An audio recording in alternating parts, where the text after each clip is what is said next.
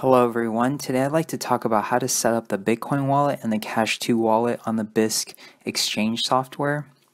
The first step is to go to the Accounts tab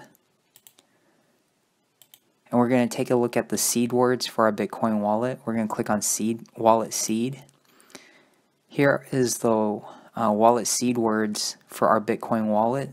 Please be sure to write down these 12 words as well as the wallet date and keep this information private.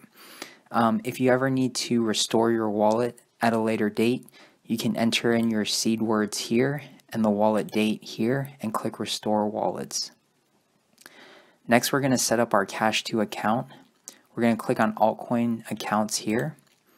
We're going to click Add New Account. Here we're going to click on the down arrow and click Cash2 and we're going to paste in our Cash2 address here. And then we're going to click Save New Account. This is a disclaimer about trading Cash2. I strongly recommend reading this and understanding the disclaimer. I'm going to click I understand and close.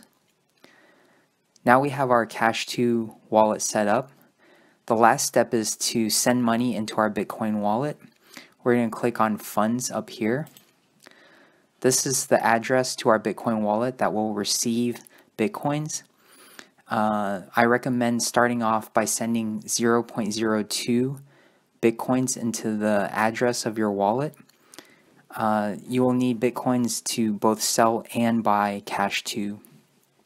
If anybody has any questions about setting up the Bitcoin wallet or Cash2 wallet on Bisq, please leave a comment down below. Thank you very much.